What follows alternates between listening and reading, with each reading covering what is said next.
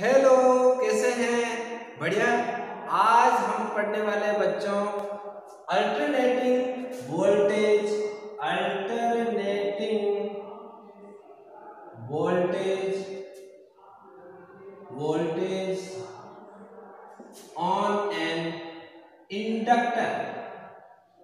क्या पढ़ने वाले इंडक्टर पर क्या पोटेंशियल जब हम पोटेंशियल डिफरेंस पैदा करेंगे अल्टरनेटिंग करंट से तो वहाँ पर किस तरह के हमारी कैलकुलेशन होने वाली है, हम क्या वहाँ पर पाएँगे, वो हम सब पढ़ेंगे।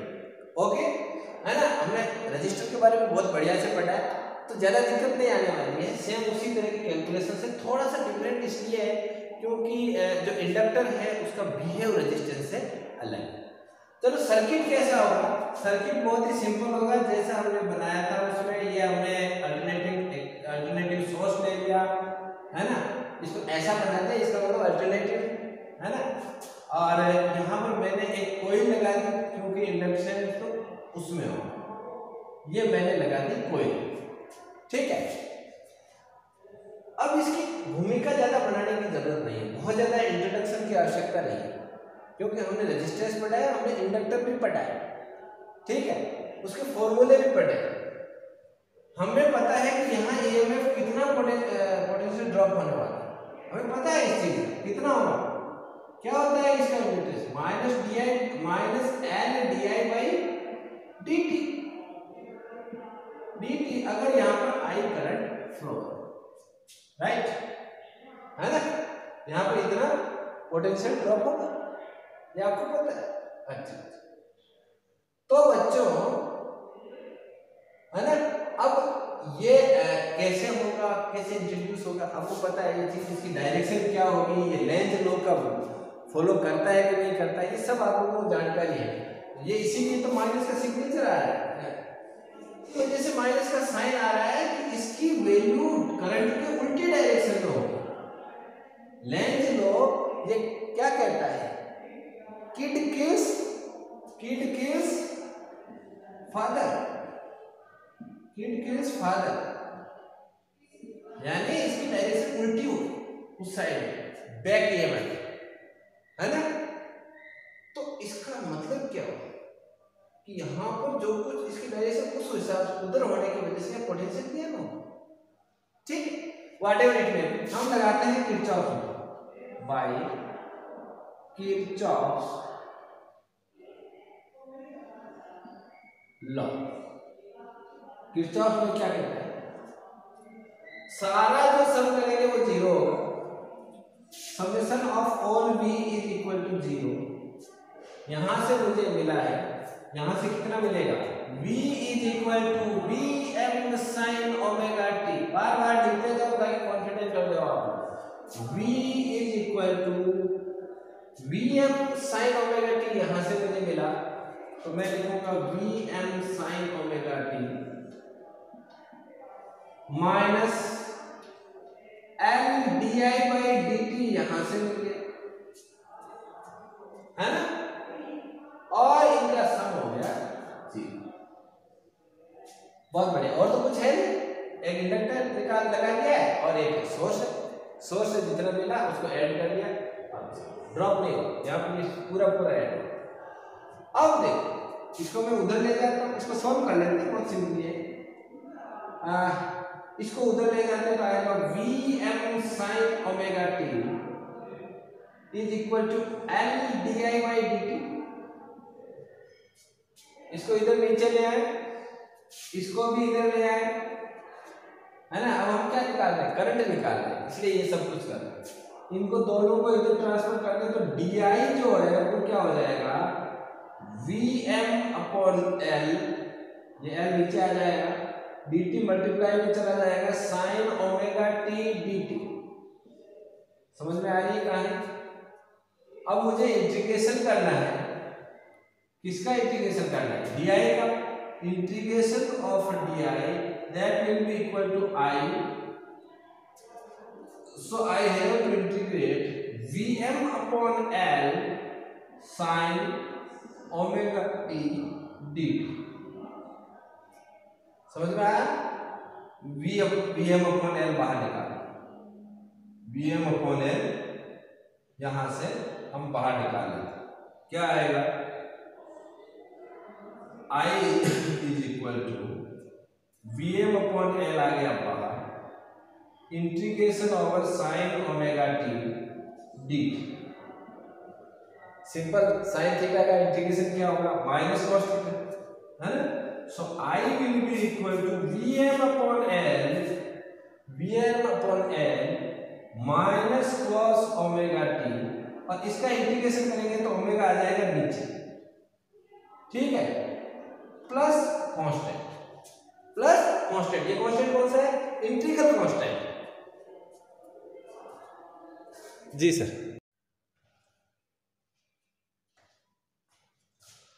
तो बच्चों, हम यहाँ पर ये कांस्टेंट कौन सा लिया हमने?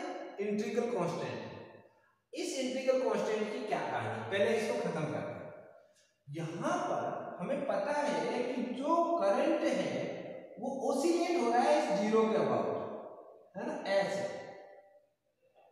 तो जो भी इसका इंपैक्ट आएगा, जो भी सी होगा इस आई के लिए वो इसके साथ साथ चलेगा है ना? और जब ये आई बार बार ज़ीरो हो रहा है तो इसका मतलब क्या है? आई ज़ीरो होने का मतलब जब टी ज़ीरो है कहीं पर तो आई कितना है? ज़ीरो तो इसका मतलब सी जो है, वो किसके इक्वल आ जाएगा। सी किसके इक्वल आ जाएगा? ऑब्वियसली ज़ीरो भाई। नहीं, भाई यहाँ पर ज़ीरो ये वन जो कि इसकी वैल्यू वन आ गई, ये आ गया, सी आ गया, और लास्ट में क्या होगा? ओमेगा भी वहाँ पर ज़ीरो है। कोई फ्रीक्वेंसी नहीं। तो ये ये सब ज़ीरो हो जाएगा। पूरी टर्म ज़ीरो हो जाएगी तो सी की वैल्यू भी ज़ीरो हो जाएगी। Because oscillating of current about zero oscillation हो रहा है, किसके अबाउट हो रहा है? ज़ीरो के इसीलिए सी की वैल्यू आ जाएगी ज़ीरो और और इसे इसे जो अपना एक्सप्रेशन आएगा आ, इसको साफ़ कर देते हैं है ना? अब इसकी ज़रूरत नहीं है। और फिर इसी को लेकर हम आगे बढ़ेंगे। लिख तो लिया ही होगा आपने जिन बच्चों ने नहीं लिखा है वो पीछे जाए। पहले वीडियो को पॉज करें बढ़िया से लिखें। लिखना बहुत ज़रूरी है। मैं बार बार ये बात कहता हूँ कि लिखिए आप। ज़ीरो आ गया। आई क्या आएगा what is the of I I is V M upon omega L omega L and minus cos omega t यहाँ थे। लेकिन हमें तो ये साइन की टर्म में चाहिए। सिनुसॉइड में चाहिए। है ना? साइन की टर्म में हमारा हमें पता है आई किसमें होता है। साइन की टर्म में चेंज करने के लिए हमें क्या करना पड़ेगा? माइनस cos थीटा क्या होता है बच्चों? What is the value of minus cos theta that is sin theta minus pi by two sine theta minus pi by two. तो इसको इस फॉर्मूले को यूज़ करते हुए बायो वालों को थोड़ी ज़ोर आया होगा, याद करना पड़ेगा बेटा जिसको जिसको समझ में निकल आ रहा है, वो इसको याद कर ले फॉर्मूले बजाय उनमें उलझने के मैथमेटिक्स पढ़ने के बजाय इस फॉर्मूले को याद करें। So I will be equal to V M upon omega L और यहाँ आ जाएगा बच्चों, sine sine omega T minus five by two. ये बहुत ही इंपॉर्टेंट वेरी वेरी इंपॉर्टेंट यहाँ पर फॉर्मूला है। ये क्या चीज़ बता रहा है? एक तो हम इसको जब कंपेयर करते हैं I is equal to I M omega T से प्लस वाट है ना? तो ये जो आ, मैं मान लेता हूँ यहाँ पर फाइव है फ़ेज़ डिफरेंस जिसको हम बोलते हैं है ना? तो इनसे जब हम कंपेयर करते हैं तो आई एम की वैल्यू क्या आ रही है? V M upon omega L है ना? जो हमारा ओम्स लॉ है, उससे आई एम की वैल्यू क्या आनी चाहिए? I M is equal to V M upon R यहाँ पर रेजिस्टेंस तो है रजिस्टर नहीं है। यहाँ पर तो ये क्यों? कोई लगाई है तो इसका जो ये टर्म आ रही है आर के एनालोगस में आर के एनालोगस में जो टर्म आ रही है that will be called denoted by XL इसको हम एक्सएल लिखेंगे। और इसकी वैल्यू होगी ओमेगा एल देखो, ये बहुत इंपॉर्टेंट चीज़ हम पढ़ रहे हैं, लेकिन हमने इसको इतना सिंप्लीफाई किया है कि आपको यहाँ पर बढ़िया से समझ में आया। एक्सएल क्या होगा? ओमेगा एल होगा। इसकी यूनिट क्या होनी चाहिए बच्चों आपके हिसाब से? देखो आर के कोरोस्पोंडेंस में है तो यूनिट इसकी आर जैसी होती है ओम यूनिट क्या होती है? आर जैसी होती है ओम से ही इसको हम रिप्रेजेंट करते हैं. And this one is called inductive inductive reactance inductive reactance right this one is inductive reactance ठीक है? तो ये इंडक्टिव रिएक्टेंस हो गया तो यहाँ तक आपका क्लियर हो गया। अब हम बात करते हैं, ये चीज़ अपन को क्लियर करनी है। अब हम आते हैं, अब हम आते हैं ये हो गया ना इस पर ओके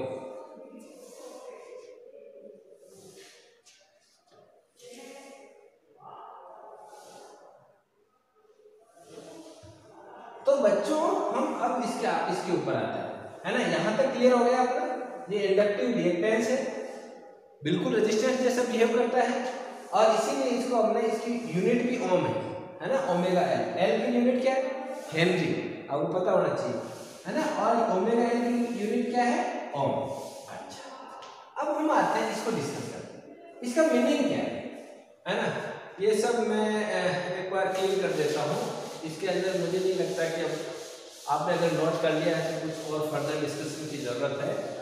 तो हमने दो फॉर्मूले यहाँ पढ़े हैं। हमने v यूज़ किया था V M sine omega T और हमारा जो कैलकुलेशन से डेरिवेशन से आई आया है that is equal to I M है ना? और आई एम चाहे मैं ये आई एम लिख लेते हैं, हमें ये डिस्कशन करना है sine omega T minus pi by two ये आया ठीक है आई एम हम डिस्कस कर चुके हैं, हमने आई एम रख दिया। इसका मीनिंग क्या है? इसका मीनिंग है कि जो फ़ेज़ है, जहाँ हम फ़ेज़ की बात करेंगे तो आई जो है, जो करंट है, वो उस अल्टरनेटिव पोटेंशियल डिफरेंस यानी उस वोल्टेज से पाई बाई टू पीछे है। कहने का मतलब क्या है कि alternative current alternative current is lagging by pi by 2 with voltage voltage से इतना पीछे है इतना पीछे तो अपन जो ग्राफिकल रिप्रेजेंटेशन करेंगे इसका वो कैसा होगा अच्छा ग्राफिकल रिप्रेजेंटेशन कैसा होगा देखो ग्राफिकल रिप्रेजेंटेशन जब हम करेंगे ये बढ़िया से समझ लो कैपेसिटेंस वाला बिल्कुल लगभग सेम है इसका कैसा आएगा मान लीजिए मैंने ये ले लिया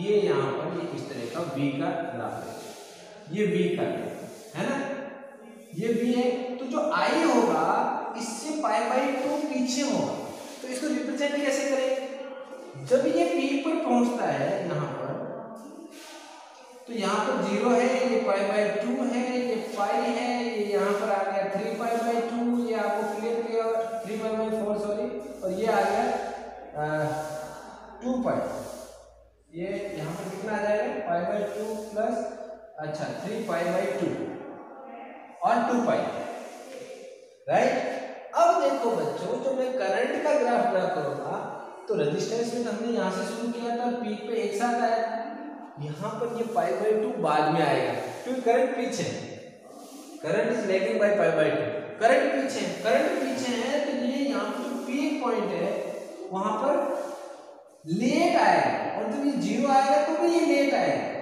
इसका मतलब इसका ग्राफ पीछे से शुरू होगा यहाँ से। अच्छा इसका ग्राफ यहाँ से शुरू होगा। ऐसे आएगा बच्चों। ठीक है? और जब ये यहाँ पर ये पीक पर है तो ये ज़ीरो पे रहेगा। जब ये ज़ीरो आएगा तो ये कहाँ पर चला जाएगा? पीक। है ना? थोड़ा सा कम रखना है इससे वोल्टेज इसी तरह आगे।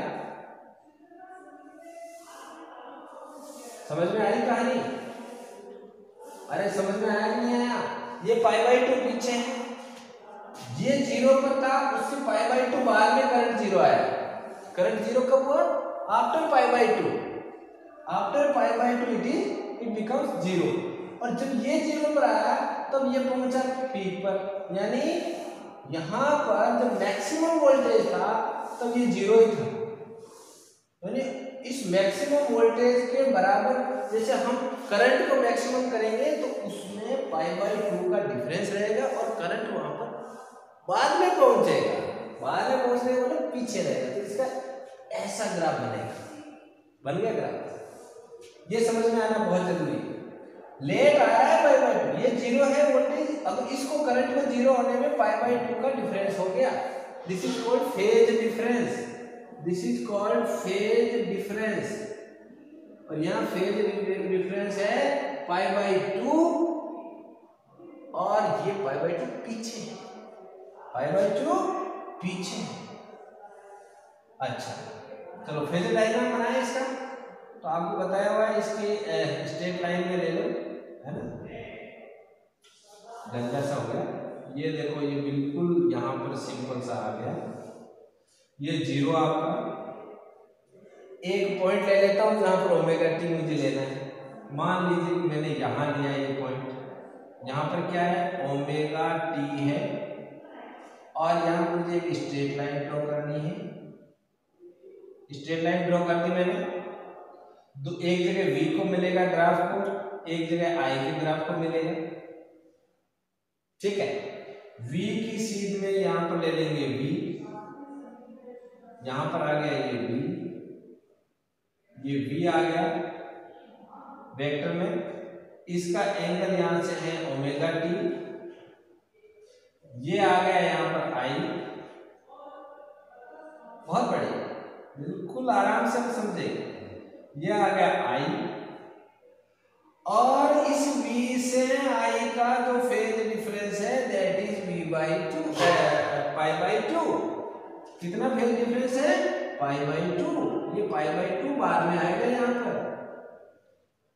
और अगर मुझे यहाँ पर इसको मैग्नीट्यूड से रिप्रेजेंट करना है तो इसका मैग्नीट्यूड हो गया बच्चों, ये ये लो, ये v आ गया and it is equal to V M sine omega T और यहाँ पर ये आ गया बच्चों, i, नीचे की तरफ़, और इसका मैग्नीट्यूड हो जाएगा i is equal to I M sine omega T minus pi by two ये फेजर डायग्राम ये ग्राफ समझ? रहे हो ये फेजर डायग्राम ये ग्राफ ये ड्रॉ करना आना चाहिए. कई क्वेश्चन रहते हैं, ऐसे होते हैं जो सीधा फेजर डायग्राम दे देते हैं और आपको पूछते हैं इसके बारे में कोई भी क्वेश्चन तो अगर आपको फेजर डायग्राम बनाना आता है तो कहीं कोई दिक्कत नहीं बनाने का तरीका आप समझो. ठीक है? तो ये क्लियर हो गया बच्चों फेजर डायग्राम के बाद में आता हूँ किस पर पावर पर पावर कितनी डिसिप्टेड है ना? बिल्कुल सिंपल सिंपल कंसेप्ट है, लेकिन अगर आप उनको डरने की कोशिश करोगे तो अंधे मुँह नीचे आ जाओगे। अब हम बात कर रहे हैं पावर की। किसकी बात कर रहे हैं? पावर लो जी पावर किसमें जब इंडक्टर लगा हुआ है। सिंपल सा फॉर्मूला लगाइए वी आई वी की वैल्यू क्या है बच्चों? V M V M sine omega T और आई की वैल्यू क्या है? I M sine omega T minus pi by two जब मैं इसको लिखूं minus I M cos omega T क्योंकि हमने इसी से इसको बनाया था। वापस ले थे वैल्यू रख दो इसकी। वैल्यू रखेंगे v की जगह आ जाएगा? V M sine omega T इसकी जगह आ जाएगा minus I M cos omega T तो बच्चों, ये आ गई। Minus V M I M sine omega T cos omega T बहुत बढ़िया। ये आ गई पी एल अगेन ये किसकी वैल्यू आ रही है? आप लोग जानते हो two sine theta cos theta is equal to sine of two theta mathematics sine theta cos theta की वैल्यू के लिए इसको नीचे ले जाओ। तो मैं यहाँ लिखूँगा minus V M I M upon two यहाँ आ जाएगा साइन टू थीटा की जगह क्या आ रहा है? ओमेगा टी है ना? पी एल हो गई।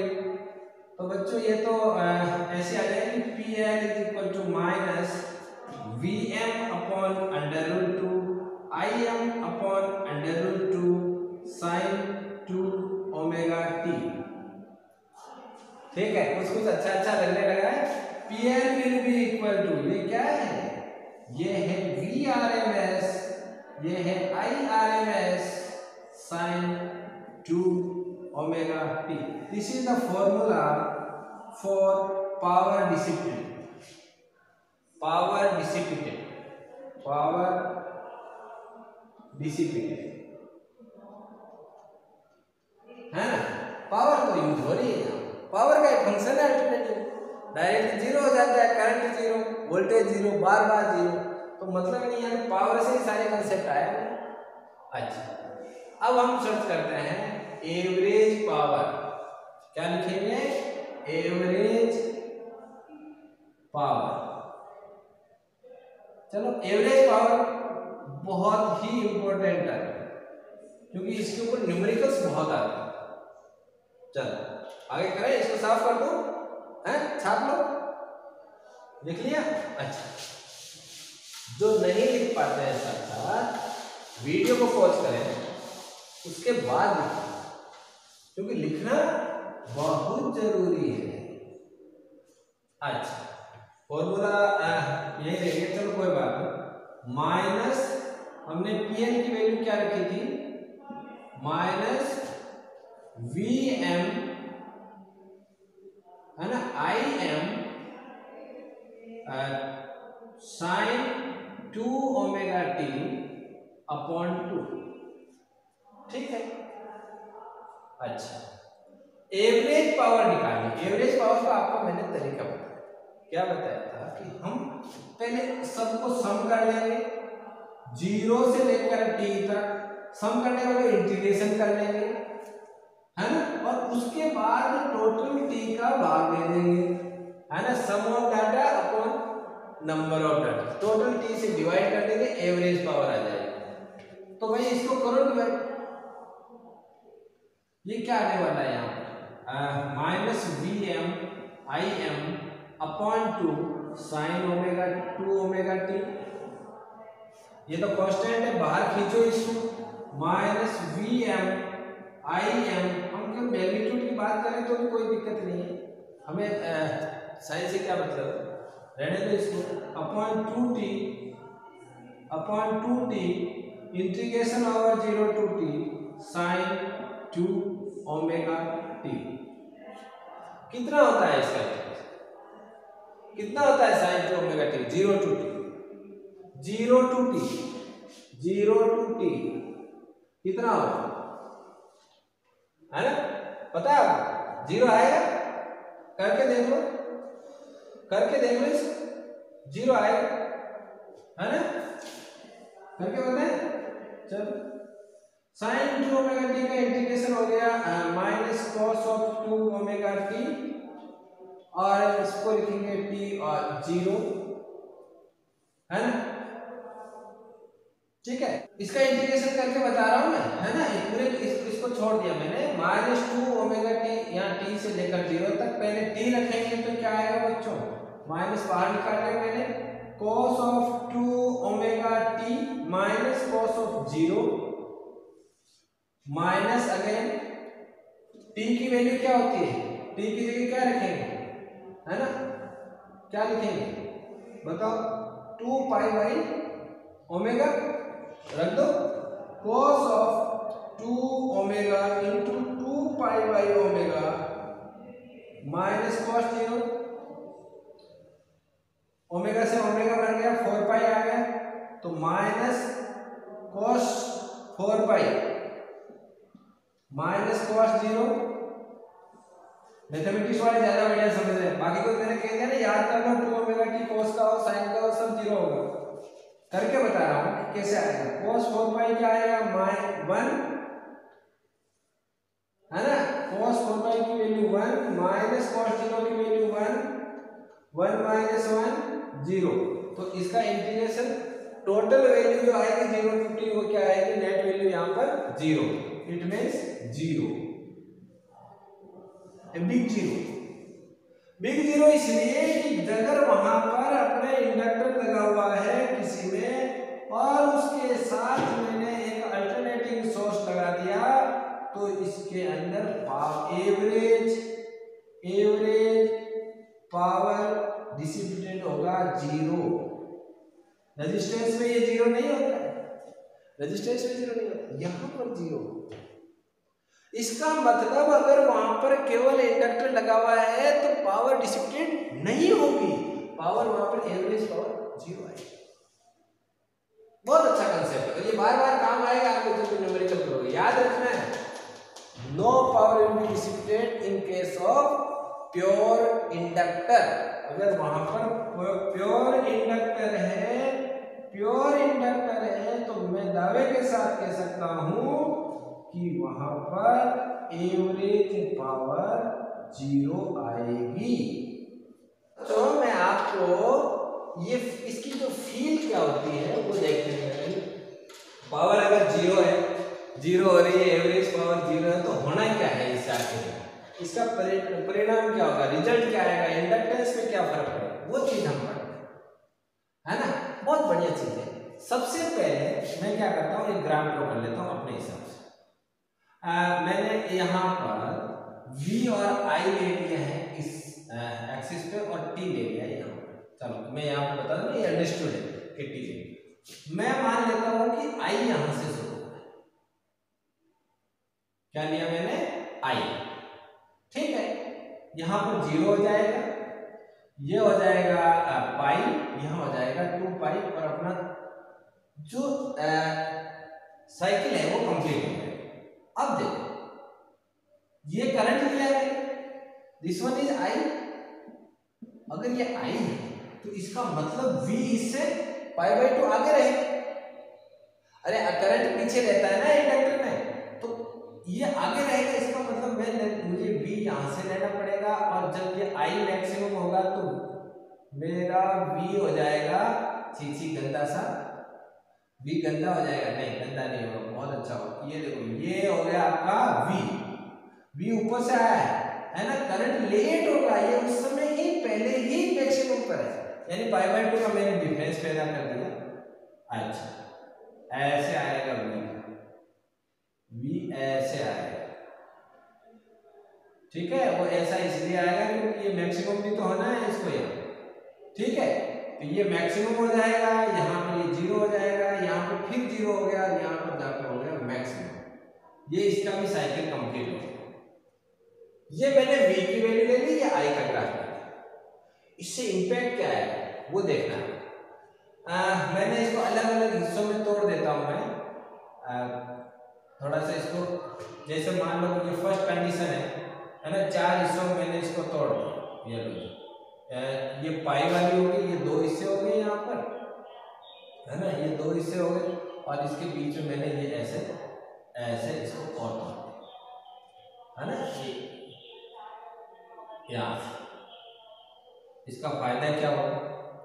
फ़ायदा ये होगा कि मुझे ये पता चल जाएगा, ये ज़ीरो वाली कंडीशन है, ये वन वाली कंडीशन है, ये टू कंडीशन इसको नाम दे देता हूँ, ये थ्री कंडीशन नाम दे देता हूँ, ये फोर कंडीशन नाम अब हम यहाँ पर इसका बिहेव देखते हैं कि पावर चेंज हो रही है, उससे इंपैक्ट क्या है? मैंने यहाँ पर एक सोलेनोइड लिया सिलेंड्रिकल कोई पोर्शन था उसके ऊपर। ये लपेट कर कोयल बना ली ली। यहाँ से मैंने करंट लिया यहाँ से करंट आ गया। मैग्नेटिक फ़ील्ड की डायरेक्शन क्या होगी? यहाँ से करंट गया करंट गया करंट गया करंट गया करंट गया करंट गया। वापिस भी तो आएगा। वापिस भी तो आया यहाँ से करंट गया, यहाँ से नीचे की तरफ़ आया, यहाँ से वापिस गया, फिर यहाँ से नीचे की तरफ़ आया, है ना? ये वापिस ऊपर गया, फिर यहाँ से नीचे की तरफ़ आया, ये गया। ठीक है? ये आया, ये गया। घूम रहा है ना ऐसे? चल ये नॉर्थ हो गया, इसका ये साउथ हो गया। आप लोग जानते हो इसके अंदर बहुत सारे लॉज अपन ने लगाए और यहाँ से ये करंट की डायरेक्शन होगी। अरे करंट की डायरेक्शन होगी कि नहीं होगी? है ना? ऐसे जा रहा है, ऐसे। ऐसे जा रहा है, ऐसे। तो अंदर की साइड इस साइड में होगा ना? तो ये एन हो गया, ये हो गया, और ये बाहर से निकल के ऐसे आएगा है ना? ऐसे इधर नहीं बनाए बना दे, चलो, ऐसे। समझ में आई कहानी? ये ऐसे। ये डायरेक्शन हो गई आपकी मैग्नेटिक फ़ील्ड। बहुत बढ़िया। सॉरी इस डायरेक्शन में आएगा ना? तो ये हो गया आपका एन नॉर्थ पोल और ये हो गया साउथ अब हम करंट दे रहे हैं। करंट में v भी पॉजिटिव डायरेक्शन में है और i भी positive direction but v is decreasing i is increasing समझ में आया? I बढ़ रहा है, v कम हो रहा है। लेकिन जो अपनी पावर आनी है यहाँ पर पहली कंडीशन जो ज़ीरो से एक के बीच में हम ऑब्ज़र्व कर रहे हैं, इसमें v पॉजिटिव है और i भी पॉजिटिव है। समझ में आया? I भी पॉजिटिव डायरेक्शन में है, v भी पॉजिटिव अरे इस लाइन से ऊपर सारा पॉजिटिव है, नीचे नेगेटिव पॉजिटिव है, i भी पॉजिटिव है। इसका मतलब क्या होगा कि इसमें जो हम करंट दे रहे हैं तो जो पावर आएगी पावर कैसे आएगी? V आई और ये पॉजिटिव ये पॉजिटिव तो ये कैसे आएगी? पॉजिटिव और इसमें पॉजिटिव आने का मतलब है कि ये मैग्नेटाइज हो रहा है। मैग्नेटाइज हो रहा है। ये क्या हो रहा है? मैग्नेटाइज हो रहा है। एनर्जी स्टोर हो रही है। सोर्स से निकलकर एनर्जी इसमें जा रही है। एनर्जी कैसी? नेगेटिव एनर्जी पोटेंशियल एनर्जी कैसी? Magnetic energy energy storing in inductor और स्टोरिंग होने का मतलब क्या है? स्टोरिंग होने का मतलब मैग्नेटाइज बहुत अच्छा कंसेप्ट अब क्या हुआ? हम आगे एक से दो वाले केस एक से दो का केस ये रहा। यहाँ पर हमारे बी भाई साहब नेगेटिव हो गए। इनका विचार बदल गया। ये ज़ीरो से नीचे आ गए नेगेटिव हो गए। But I is still positive I कैसा है? पॉजिटिव तो जो पी आएगा वो वी आई जो हम लेंगे तो ये कैसा आएगा? नेगेटिव अरे मल्टीप्लाई करेंगे तो नेगेटिव आएगा कि नहीं आएगा? नेगेटिव आने का मतलब है कि now demagnetize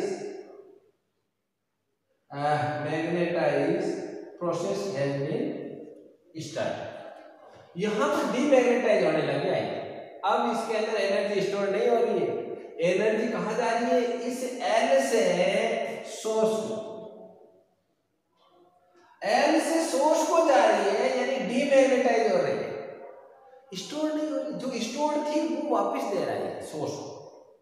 है ना? और जब हम डायग्राम बनाएँगे तो लग सेम ऐसा ही होगा सेम ऐसा ही होगा। उसमें क्या करेंगे एक फ़ील्ड लाइन कम कर देंगे।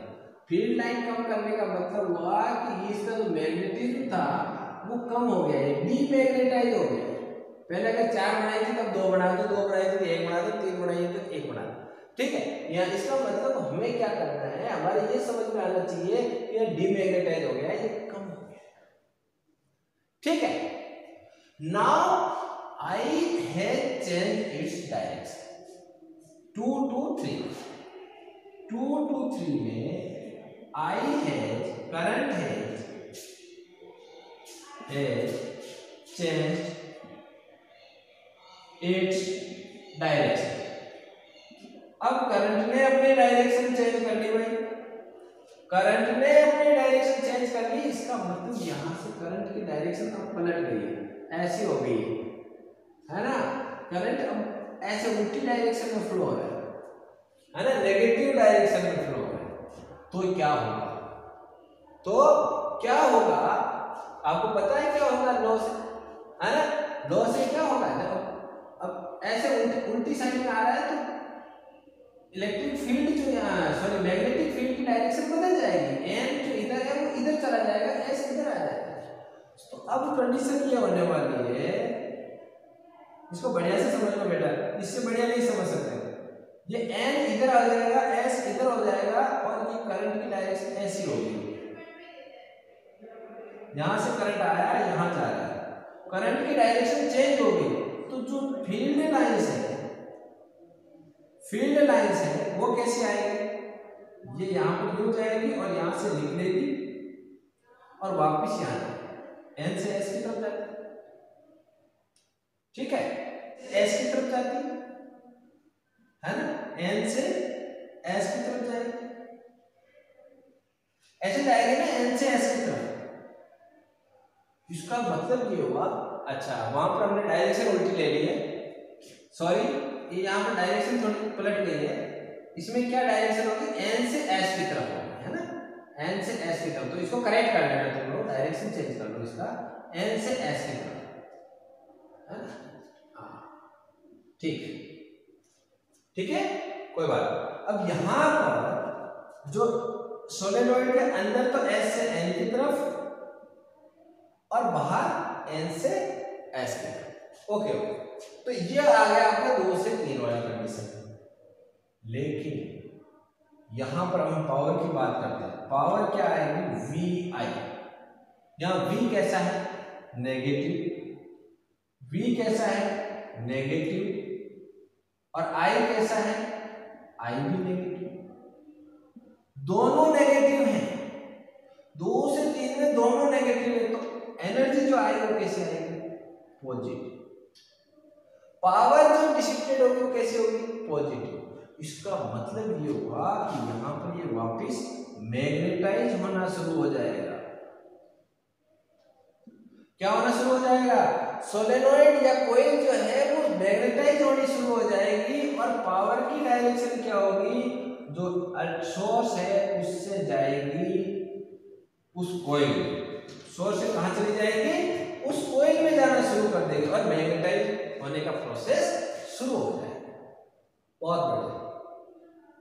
नेक्स्ट मैग्नेटाइज होना शुरू और क्या होगा? जब हम अगले पार्ट में आएँगे, तीन से चार तो क्या होगा? है ना? मैं इसको क्लीन कर देता हूँ। तब क्या होगा बच्चों? तीन से चार वाले इस टाइम में क्या होगा? इस टाइम में क्या होगा? इसमें क्या होगा कि अपने वी तो ले रहे हैं हम पॉजिटिव और आई कैसा ले रहे नेगेटिव आई तो नेगेटिव डायरेक्शन में वी पॉजिटिव है। तो आपकी जो पावर होगी वो कैसी होगी? नेगेटिव होगी वी आई है ना? जब पावर नेगेटिव होगी तो इसका मतलब ये वापिस सोर्स जो है वो इससे लेना शुरू कर देगा पोटेंशियल एनर्जी वापस लेना शुरू कर देगा। वापस लेने का मतलब है डी मैग्नेटाइज इसका मतलब ये हुआ कि यहाँ ज़ीरो से हम फोर जो वाली कंडीशन पर जब हम पहुँचे तो पूरे साइकिल में दो बार वो मैग्नेटाइज हुआ और दो ही बार वो डीमैग्नेटाइज हुआ। और टोटल जो पावर है वो कितनी होगी? ज़ीरो ने लिया ने दिया, यहाँ से वापस शुरू हो। ठीक है नेक्स्ट आइए तो ये फील है, जो हम बात कर रहे थे ना एवरेज पावर ज़ीरो होती है एवरेज पावर ज़ीरो इसलिए होती है कि यहाँ पावर तो डिसिप्टेड हो रही है, लेकिन एक बार दे रहे, उसको कोयल को और वापस उससे ले तो इसका मतलब है जो एवरेज पावर होगी वो क्या हो जाएगी? ज़ीरो दो बार तो उसको मैग्नेटाइज कर दिया हमने कोयल को, और दो ही बार डीमैग्नेटाइज कर दिया। तो लास्ट में रिज़ल्ट वही पहुँच गए जहाँ शुरू में तो पावर वहाँ कंज्यूम हुई नहीं। पावर वहाँ कंज्यूम हुई ही नहीं। पावर कहाँ कंज्यूम होगी? जहाँ रजिस्टर हो। अदरवाइज़ कहीं पर भी पावर कंज्यूम नहीं होगी यहाँ से वेरीफाई हो जाएगा। ठीक है? हमने फेजर डायग्राम देखा, हमने इसके करंट और आई का बिहेव देखा, कैसा होता है। और लास्ट में हमने इसको ऑब्ज़र्व किया कि पावर और average power for a complete cycle वहाँ पर कितना होता है। चलो बच्चों, मिलते हैं नेक्स्ट वीडियो में, जहाँ पर हम पढ़ेंगे alternating voltage on an conductor inductor की जगह क्या लगाएँगे? कंडक्टर चलो, ठीक है, तब तक एंजॉय करो। मिलते हैं नेक्स्ट वीडियो